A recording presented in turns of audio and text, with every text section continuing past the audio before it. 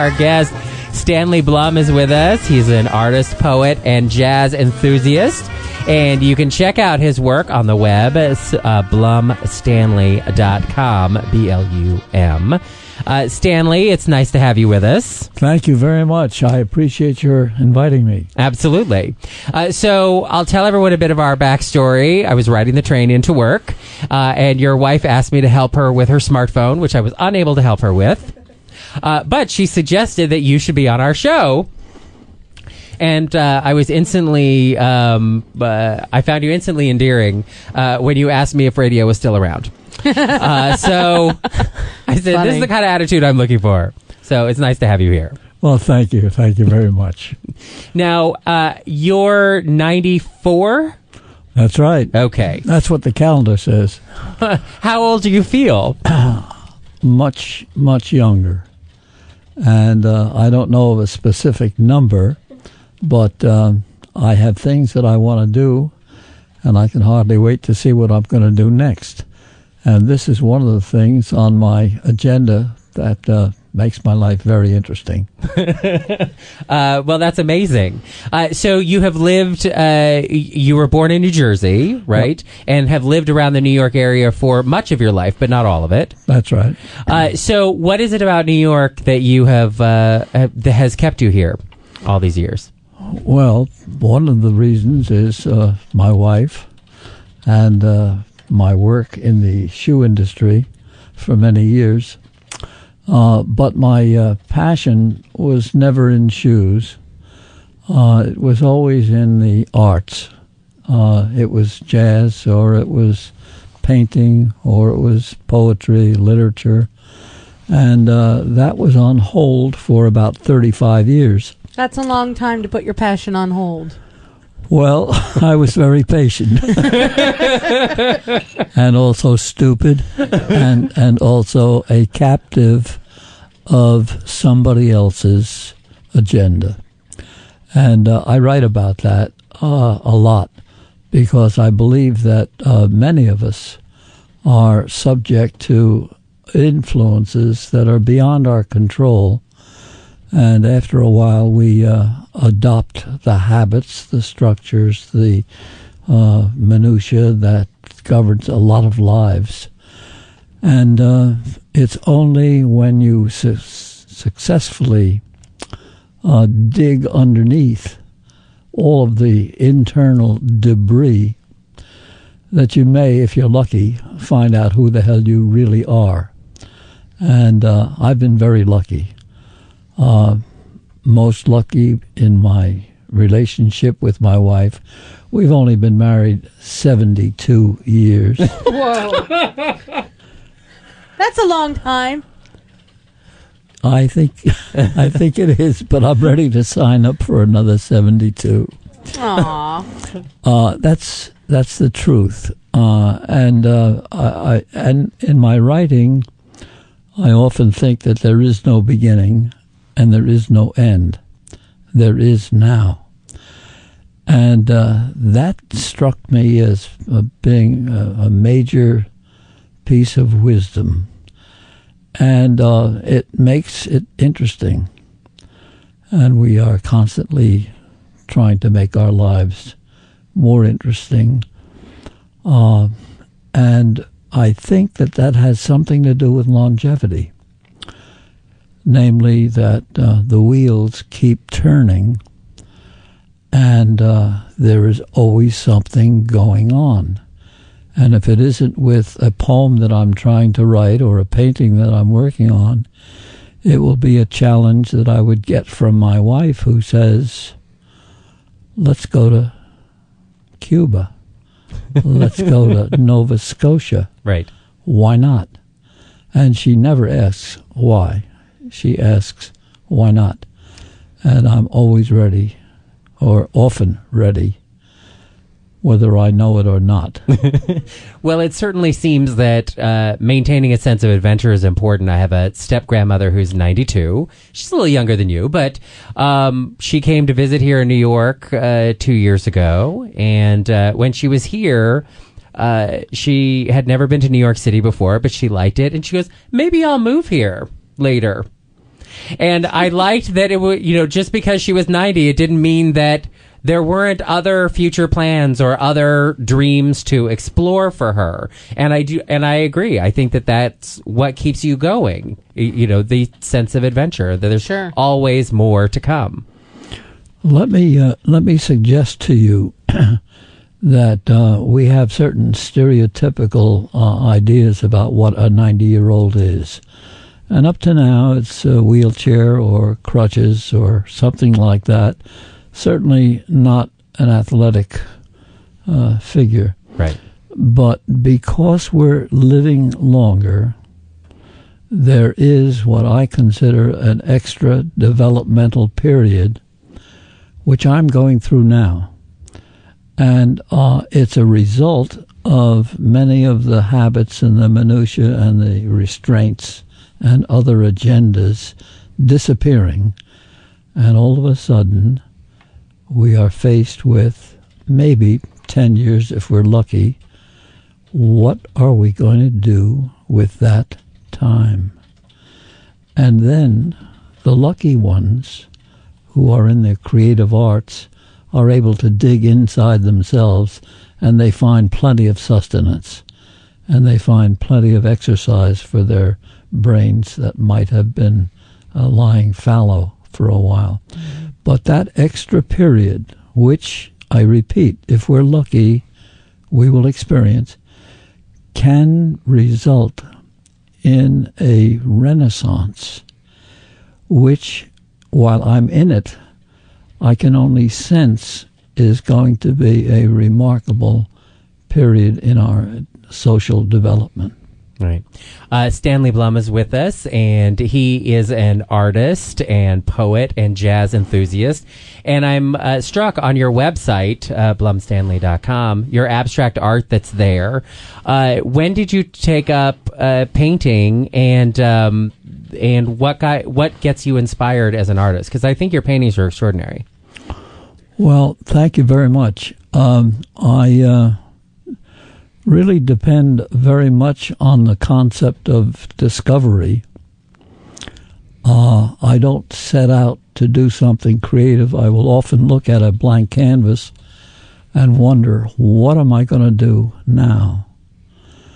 And I uh, try as far as I can to let my unconscious determine what pigments I use, what shapes, what what anything, and I let the canvas tell me.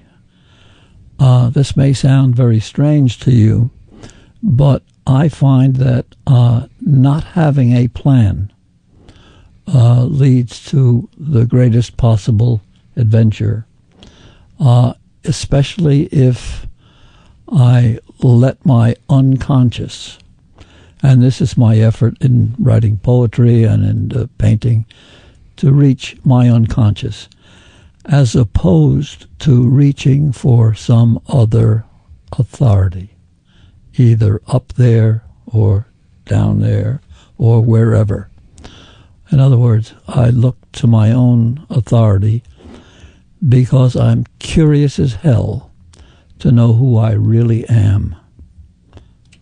So, um, wh- uh, do you feel now that you know who you are at 94, or do you feel like it is still a process of discovery? I'm still growing. Oh God! Well, that doesn't give us a lot of hope for the rest of us. I would hope we will have to wait a long I would time. hope I would hope it gives you the hope of a poet who knows no boundaries, who, if I can uh, quote Einstein, uh, said that imagination is more important than knowledge. And with my imagination, I can go wherever I please, whenever, however, whoever, and feel that I am connected to the universe. And it's that freedom that I wish for me, and it's that freedom that I wish for everyone else. Uh, so I'm curious because you have seen New York over a long period of time. Uh, what about New York City has changed uh, for the better, and what do you think has changed for the worse? Well, I tell you, you're, you're asking uh, a person who is uh, feels like a country hick coming to town for the first time. uh, we used to live in New York on 44th Street and uh, Lexington Avenue. Right. And uh, we've always felt that New York City was the place to be. It was stimulating, it was wonderful. And we still feel that way. But we um, like to balance our lives. And when things get very hectic, as they often do in New York, we're fortunate enough to have a place in Rhinebeck, New York, where we can uh, let our hair down and just be. And right now I'm visualizing sitting on my back porch doing nothing. nothing at all. And that is a lie, of course, because when I'm doing nothing, my head is gone everywhere. And I don't know where it's going to stop. And I, as I said before, uh, I'm curious as hell to see how it's going to turn out. Uh, as am I. So when you do your artwork, do you do most of it at your at your home in the country, or do you do most of it here in the city when it, where all the stimulation is? Well, um, I go to Hunter College as a as an auditor, and uh, I have a teacher, a professor, uh, Gabrielle Everts, who understands abstract art, Uh huh. understands me, and uh, is able to encourage me in the most minimal way.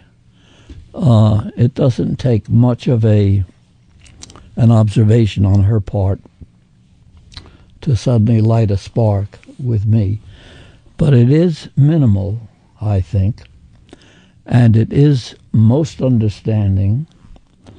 And I find that uh, after 10 or 12 years, I still look to that class for the chance to uh, let it hang out, to get lost. And by lost, I mean that uh, I could stand in front of that canvas for three hours without going to the bathroom, without doing anything. And when I finish, uh, I couldn't tell you where I was. Uh, and this was a process of draining what uh, I hope was in there. And if you like the paintings, then you got the you got the message. Well, I think the paintings are wonderful. Uh, now, Stanley, you are also a poet, and uh, your wife says that you have a poem that you wanted to read for us today.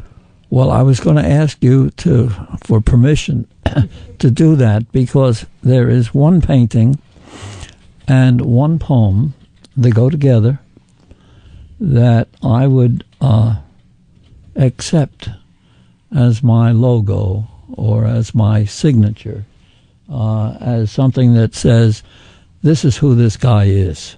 Right. So uh, I think it's remarkable. It's one of the first things that I uh, wrote, uh, but it is a uh, an endearing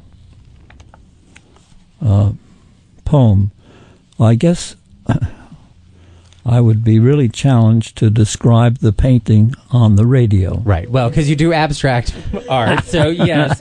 But uh, what if does the you if but- you will if you will visualize uh, a free spirited person with a palette knife and a brush and a rag going crazy and with joy uh, with uh, some uh, sense of orderliness but more a sense of freedom visualize that with all the pigments on a canvas, and you'll get some idea of what this poem is. It's entitled Free to Be. The painting is also entitled Free to Be. It reads Your life is your canvas, the product of your passion, yours alone, that no one may alter. It is your beauty, your truth, your work of art. Be free always to celebrate that uniqueness, your gift to humanity. We are joined in a common struggle, each in his own way, to escape the tyranny of conformity and mediocrity, to be our best selves, to be free to be. I think that's wonderful. Me too. I like that. Thank you, thank you. That's uh, the way I feel, and uh, I've felt that way for a long time. And I think that um, probably uh, whatever, whatever I have written or what I've painted since then uh, is probably a valid reflection of that. Uh, uncluttered, untethered, free to do whatever, not whatever I please, Sure. but rather uh, be as close to a natural uh, propensity, a natural desire. Uh, and uh, I look for that all the time because I think that we all have that certain DNA that um, the ideal would be they're practicing within the confines of their own DNA, not somebody else's, not somebody else's image or teaching or ideology. Uh, and that's a neat trick. That takes a long time, and I'm believe I believe I'm still working on it. So, Stanley, uh, let's talk about being married. Uh, as you said, you've been married for only 72 years. uh, so, what do you think is the secret to uh, being married for uh, 72 years? Which seems like a long time to everyone else but you. it, it is a long time, but let me suggest this: that fundamentally there is a an attraction that began in 1941, and that attraction was based on a respect for each other's turf, and given that there isn't a a chance for one to assume control over the other. Respecting each other's turf means I listen to her, she listens to me. We often listen to the same thing together. And we always seem to be in sync. I can't explain why. All I can say is that all she has to do is to give me a look, and that's the equivalent of a paragraph from some other relationship. So um, I look to her, she looks to me, and there's a mutuality there that uh, lasts a long time and is still growing. Now, were you Hold both? I just have to say something. Yes. The best part about listening to that is seeing the smile on her face as you're describing your relationship because you can see that she's completely in sync. And she couldn't agree more. It's great. I'm watching. I'm, I'm actually listening to you and watching her. It's pretty. It's pretty wonderful. Thank you, thank you for pointing that out. Yeah. I, I would guess that that would be true. Yeah. Oh, it's without true. knowing it, but you you proved it. She didn't know I was watching, but I was watching. Uh, now, were you certain the moment that the two of you met? Well, it took us it took us about uh, a week, I think, maybe. maybe less than that. Sure. Uh, all I know is I was engaged very soon after we met. And um, I didn't question it. She didn't question it. We uh, just assumed that we wanted to be together. And um, I still don't like to let her out of my sight. I want to know where she is. She wants to know where I am. Uh, we uh, are a couple, and we still have things that we want to do. Because why not? Why not, indeed? Uh, well, let's go to the phones. Our guest is Stanley Blum. He is a 94 year old artist, poet, and jazz enthusiast. And you can check out his website, blumstanley.com. Let's go to Nels in Los Angeles. Nels, you're on Derek and Romaine. Hi. Hello. Thank, thank you for taking my call. Hello. Stanley, uh, my question for you is uh, what are your impressions of the gay rights movement in New York City, like namely uh, 1960s Stonewall riots?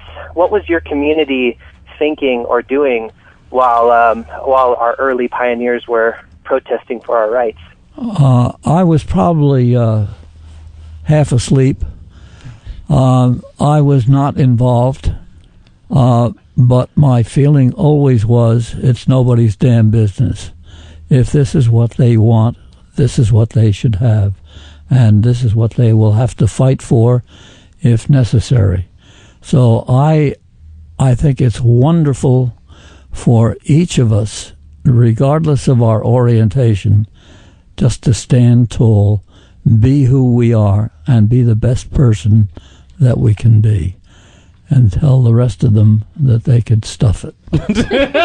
There you go. Thanks, Nels. Thank you. Uh, Stanley, it's been delightful having you with us. Thank you. Uh, I've had a wonderful time getting to know you, uh, as I did on the train, and I'm glad you could take some time out uh, to join us here. I'll be very happy to come back anytime. I love the idea of talking, and I like particularly the idea of a broader audience that evidently stretched to California. Oh, we're Oh, yeah, national, so yes. Yep. And and then when you talk about Sirius radio and satellite, I just get this wonderful feeling of uh, expansiveness. and if anybody else is listening, I think it's wonderful. I thank you for listening. Absolutely. All right. Thanks to Stanley Blum for being with us. And check out his website. Uh, his art is amazing, and you can see his poetry there as well. Uh, and his books, too. Uh, his latest is Overtime, which came out this year. Uh, BlumStanley.com, B L U M S T A N L E Y. And of course, there are links to his website on our Twitter and on our Facebook page.